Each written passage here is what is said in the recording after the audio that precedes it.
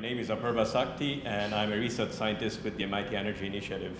My background is in engineering and public policy, so I've looked at energy storage system design and optimization, and lately I've been focusing on the different applications and what sort of business cases you can make. Uh, so yeah, as Magnus pointed out, this is a very long uh, slide name, particularly because I'll touch on two different case studies that we are running. Uh, it's still in the initial stages of, uh, I mean, finishing up this study. So any comments or feedback that you might have would be very well appreciated, and we are still at a point where we can change the direction a little bit. For the first case study, what I'll uh, talk about is, let's say you are an investor and you want to uh, invest in an energy storage system. Nowadays, it's increasingly uh, lithium-ion batteries and different flavors of that when it comes to the chemistries. So let's say you invest in a one megawatt hour lithium ion battery. What exactly does that mean? I mean, you can go with the fact that it's the maximum power for a certain duration of the time, but do you actually end up getting one megawatt hour? Or the actual usable capacity is significantly lower than what uh, the nameplate capacity is? And how might that change, change the profitability of the system? On top of that, there are regulations, market uh, policies, and whatnot, which I will not go into, but that sort of things will impact as well. For instance, is the price signal varying every five minutes, or is, is it varying every 60 minutes? Uh, and then there are other aspects as well with regards to in optimization models, how are you representing these batteries? Is it a fixed efficiency? Is it a fixed power limit, or is it varying as a function of the state of charge? So these are some of the things that I'll touch on in the first case study. And for the second case study, what we are trying to look at is we have generator level data across the United States. And what we are trying to see is that sometimes you have gas turbines running or spinning to be able to provide the spinning reserve service. What if you were to have a hybrid system where the battery would take up the initial uh, ramp up and, the, and the, the turbine will not have to spend uh, money in fuel-related costs or startup-related uh, costs. So that sort of a trade-off is something that we are investigating as well. So I have to warn you, unlike Dr. Zand's presentation, I do not have a whole lot of equations, I was hoping that we can sort of discuss the general uh, structure that I have, and I'm happy to answer any detailed questions that you have. This is sort of uh, laying out the ground uh, a little bit. Uh, when you look, I mean, there are 98% of energy storage is almost uh, pumped hydro, and then you have other technologies as well. But lately, when you look into advanced energy storage deployment, you see electrochemical energy storage coming up quite a bit. And within that space, lithium-ion batteries are playing a dominant role. And within lithium-ion batteries, as you might know, Panasonic slash Tesla has their own chemistry. Uh, then you have Sanyo and then LG Chem. Different companies are uh, providing, or different companies are going with a different sort of uh, chemistry of their choice. So how do you, how do you go about understanding the relative trade-offs across these chemistries? And if you were to invest, how, how, how would you make that decision? So we are actually working, even though in the title it might say offshore wind, we are working with a company helping them come up with a decision-making framework to help them uh, go ahead and figure out what technology, what chemistry would make sense. In this presentation, I will not touch a whole lot on offshore, uh, offshore wind but happy to answer questions. So this just shows the distribution across, I mean, uh, different power levels and the duration. This again ties back to when you have a one megawatt hour battery system, let's say that you invested in, how much can you actually cycle it? What sort of profitability window are you looking at?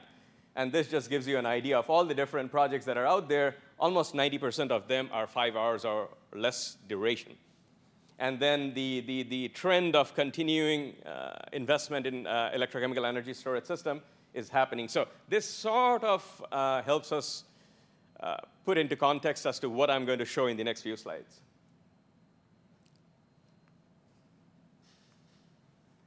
All right, so this is what I was talking about with different vendors having different chemistries. So when you are out there, it's not just one chemistry that you can go with. There are multiple ones starting with Energizer, Panasonic, Tesla, A123 systems. And nowadays, there's a bit of an increasing push towards chemistries that are perhaps in low cobalt content, because uh, what you see over here is the spike that you have recently seen. This is from the London Metal Exchange, and that just shows how the prices have, in some uh, cases, skyrocketed. Another thing with cobalt also is that around 50% of the production happens in uh, DRC. Which has other uh, geopolitical uh, connotations there as well. With that, I wanted to start off with the initial framing that uh, you have a battery. Now, let's say the 100% nameplate capacity is about one megawatt hour. How much of that is useful? How can you cycle that? Some of these studies that are out there have shown that, I mean, especially in the case of the uh, wind developer that we are working on from Norway, uh, we know that they have a battery and that the battery initially came with uh, the warranty that, all right, we are going to provide you with the warranty, but you can only cycle it from 30% state of charge up to 85% state of charge. That directly brings down your uh, cyclable capacity by half. This has implications beyond the uh, attractiveness of the battery itself. For instance, the other day I was in a flow battery conference and they were trying to figure out whether flow battery will have a viable case in the future. When you are comparing different technology costs with that of lithium ion batteries, you'll have to look into the systems level cost, number one, of which the battery pack perhaps can be half of the total cost. And then beyond that, what is the total cyclable, uh, or what is the amount of capacity that you can actually use? And then we have done some studies that shows when you look at power as a function of the state of charge, the efficiency as a function of the power charging and discharging that you do, that takes about 10% hit on the estimation of the revenues. And then on top of that, there are degradation-related issues that studies have shown could be up to 46%. And then the uh, impact of price signal, and then you could say that the net revenue that you're going to get out of is a function of all of these. These don't essentially stack up. This is not a hard and fast sort of a graph that will apply in every case, but this is merely representative to show, starting from a battery of one megawatt hour, what sort of uh, value can, you can get out of this. So this is what I was saying. Before we did our study, we saw that different power systems model, including some of the dispatch models that are out there, such as Plexos, Aurora, and whatnot, they'll look at batteries as if you can get the same power uh, limit, the maximum power limit across different states of charge. The losses are the same. But that is not the case. So we looked at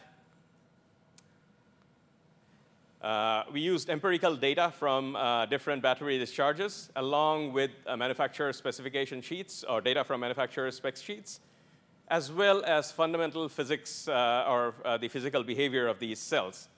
And we came up for, for an NMC chemistry, given a, uh, given a specific efficiency or overall efficiency, what the power limit would look like as a function of state of charge. And then you have the losses for different states of charge as a function of the power. The reason we did that was this, was, this has not been done before, and we wanted to even see, does this make a difference? Should we even care, or is it just completely fine that you're uh, representing batteries in a way that is not actually representative of their physical behavior? And then we, that, that was when we saw that it could make a difference of around 10%. The limitation of the previous study that I just showed was that we did not look into, uh, take into consideration the degradation of these cells.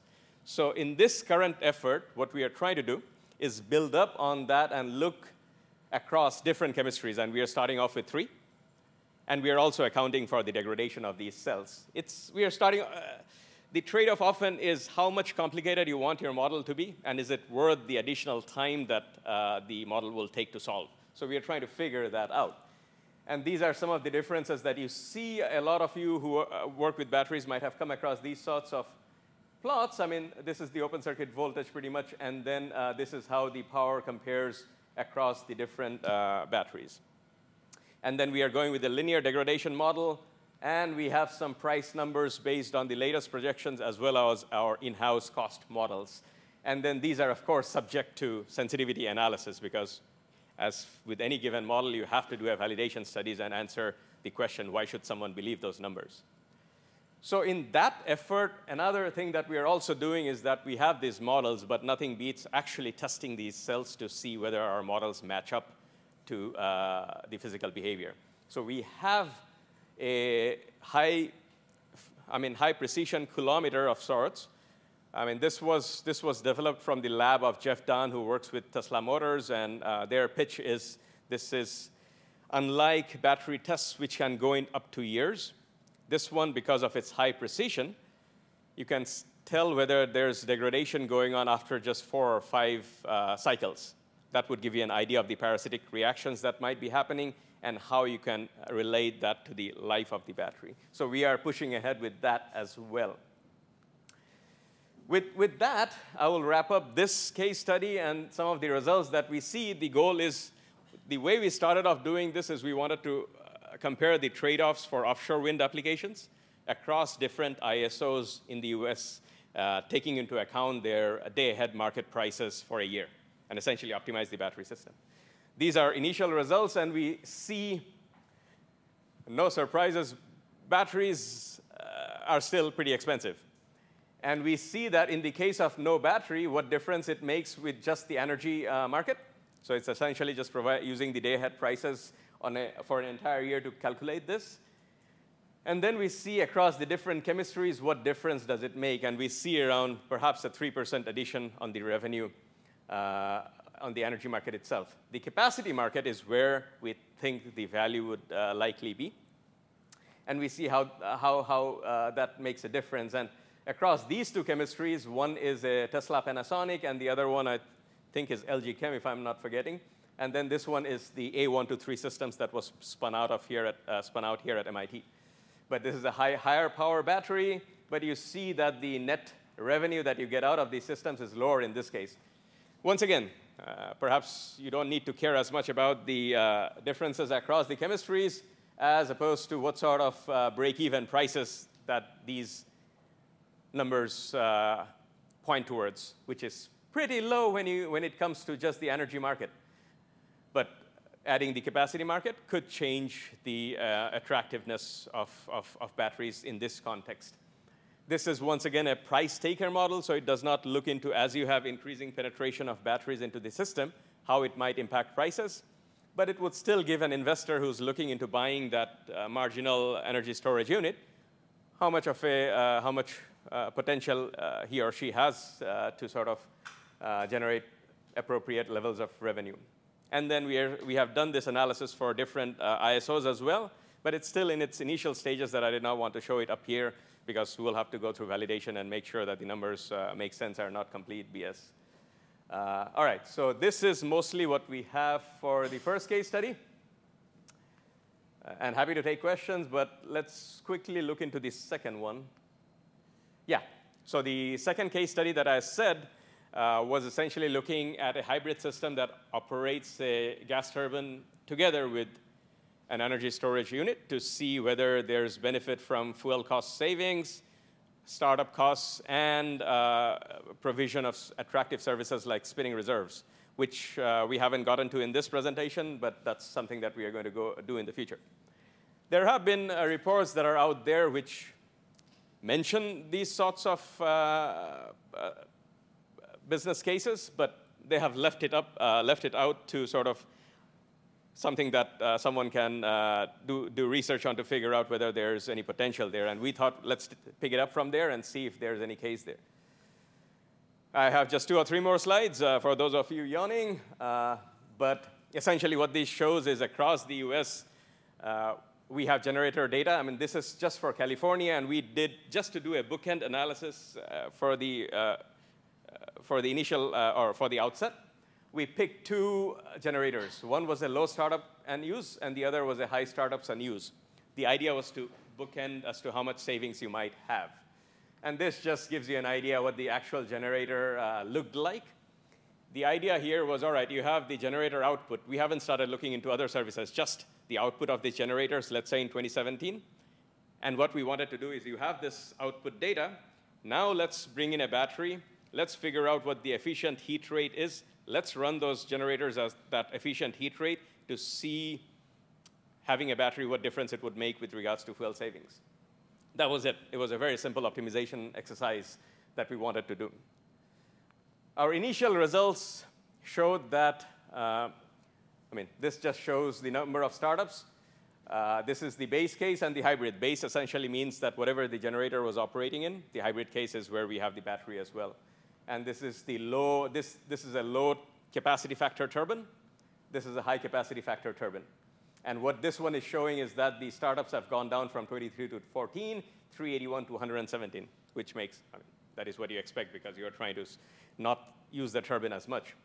And this is essentially the cost savings, and you see the cost savings from fuel as well as startup. And not surprisingly enough, it's in the case of the high uh, capacity factor turbines where you see there's room for uh, savings in the order of around 250K. Now, that comes down to around $25 a kilowatt hour. We are still analyzing to figure out if there is a business case, and this will likely change as you get into uh, more attractive services such as spinning reserves.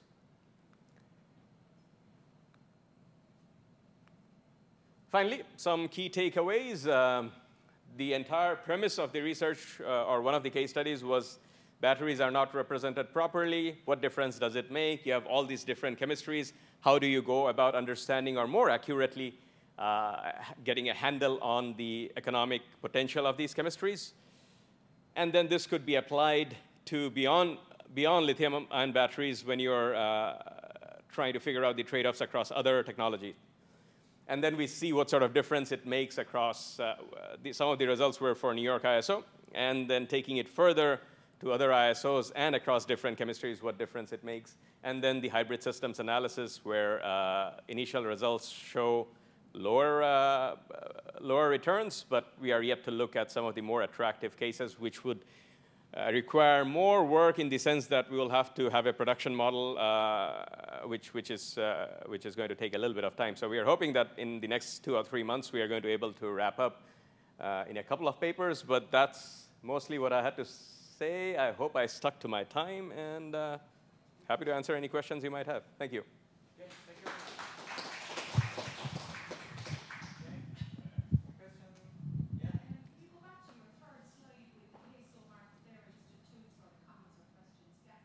Oh, this one?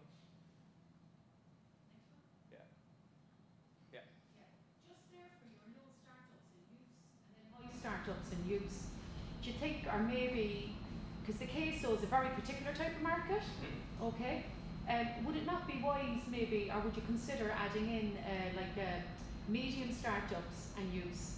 Um, because you're, you're really on two extreme ends right. of the scale there, and actually there for your capacity factor of 13.2 and capacity factor of 1.2, in a lot of jurisdictions, you know, for something which would be comparable to this, which would be uh, a fast acting uh, small gas turbo um, peaker plant, you know, it would be maybe five to six percent. You're, you're very correct, and uh, for for this one over here, I did not. that will affect that. Sorry.